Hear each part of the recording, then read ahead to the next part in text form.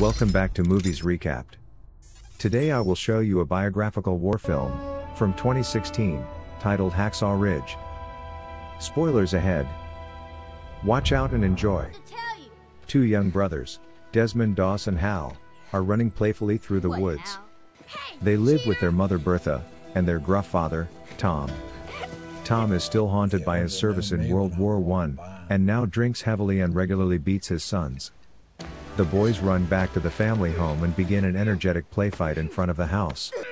In the tussle, Doss picks up a brick and hits Hal over the head, instantly leaving him in a retarded stupor. As their parents frantically try to aid Hal, Doss is overcome with glee. The family is strict 21st day Adventists, and a large illustration of the Ten Commandments hangs in the house. Doss sees the commandments thou shalt not kill and, convinced that he has murdered his brother, feel nothing but intense grief. Greg goes to whip Doss on the rump with his belt, but Bertha stops him by explaining that it won't teach their son anything. Bertha talks to his guilt-ridden son as he knows he could have killed his brother. His mother assures him that Hal is going to recover and that he should stay away from sin especially taking away another man's life. Although Hal recovers, Doss is haunted by the experience. Fifteen years later, Doss is working in the church while his mother sings in the choir.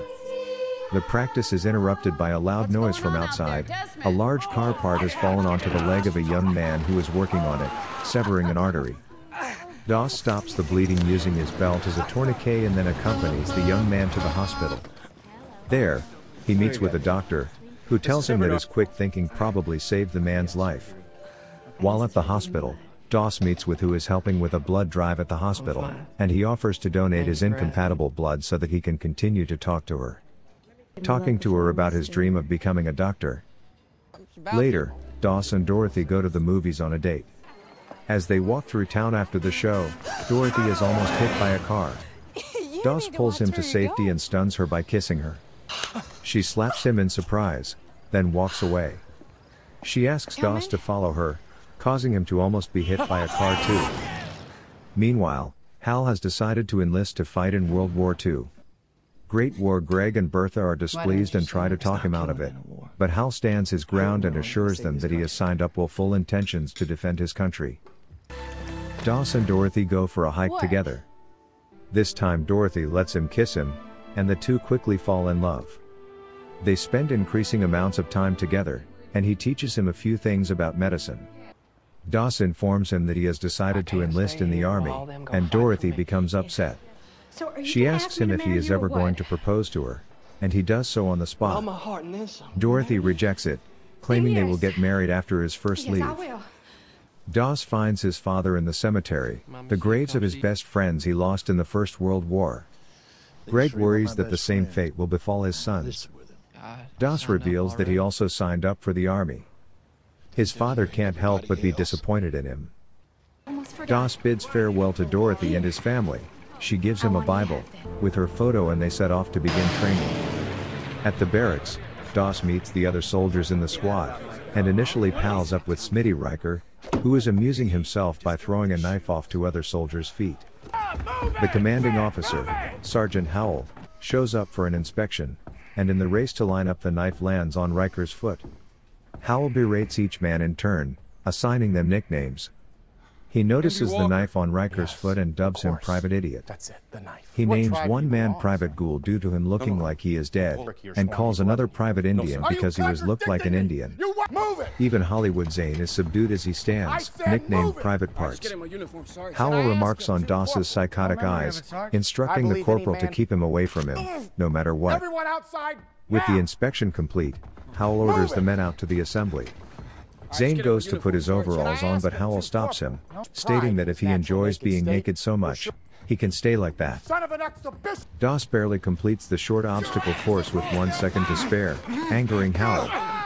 Just as the men are to begin their rifle training, however, Doss states that he does not wish to handle a have a weapon. weapon. He simply wants to save people's lives and not to take them.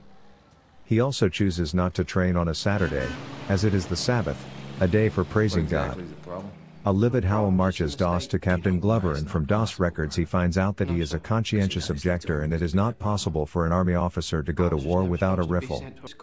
The captain orders him to be taken to Section 8 for psychiatrist discharge. Howell decides to make Doss's life a living hell. Howell, therefore, decides to force Doss to leave of his own accord and systematically turns the other soldiers against him, making him look like a coward. Smitty tries to provoke Doss by grabbing his Bible and hot gluing a picture of Dorothy, but Doss never reverts but politely asks for his Bible back. a crazy person. The psychiatrist is conducted but it is determined he is sane thus cannot be dismissed. One night, several of the soldiers beat up Doss to a bloody pulp in his bed. Howell asks him to point out his attackers, to which he refuses claiming he didn't see anyone. Plan on getting wet this The squad is due to be put on a released from training on furlough, but Doss is informed that he cannot be awarded a pass because he has not respectfully, sir, I completed rifle training. Doss continues to stand by his Says you're not beliefs and as a result, is detained and incarcerated for insubordination. He spends his wedding day locked in a cell waiting to be taken to court martial, risking spending time in prison. Dorothy awaits Doss in church for their marriage but he doesn't show up and the wedding is called off. She visits him and questions whether he is mistaking his own will for God's will. He could go to prison. Doss is put on trial for high treason.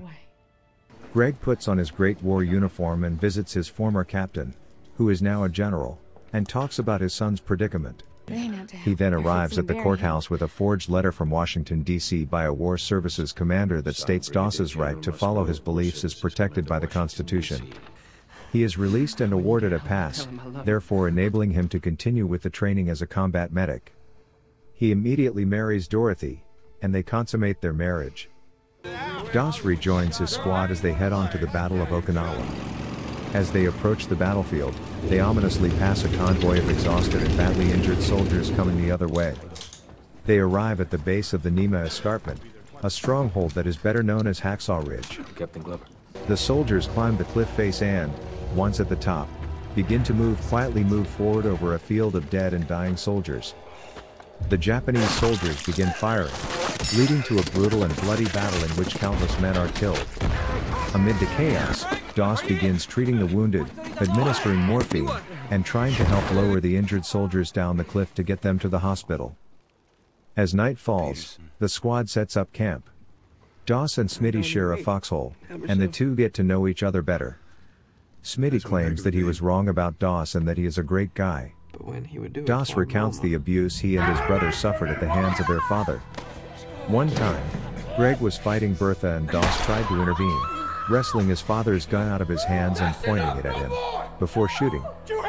He was ready to shoot again until his mother stopped him. Doss talks about how close he came to killing his father and, at the time, how willing he was to do it. Smitty fully realizes Doss is a special kind of person and he seems to even get to understand his stand and reasons for not touching a riffle. The next morning, the Japanese begin a heavy assault. Bullets and grenades are fired everywhere, and the Doss squad is forced to retreat down the cliff. Doss tries to save who he can but, despite his input, Smitty dies in front of him. Doss remains hidden on the cliff as the Japanese soldiers walk around killing survivors.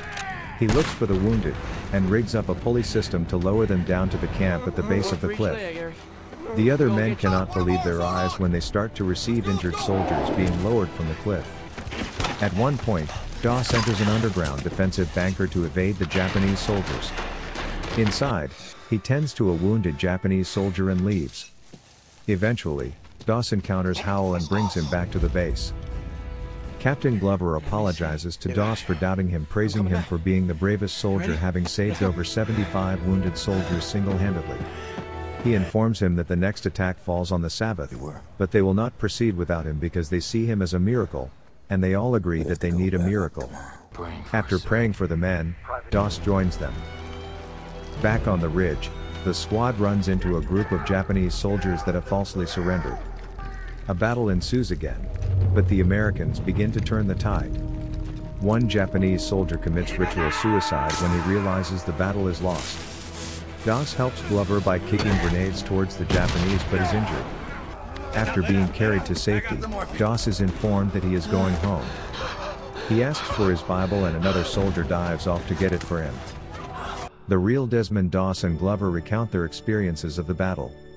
It is revealed that Doss saved over 75 American men on the battlefield.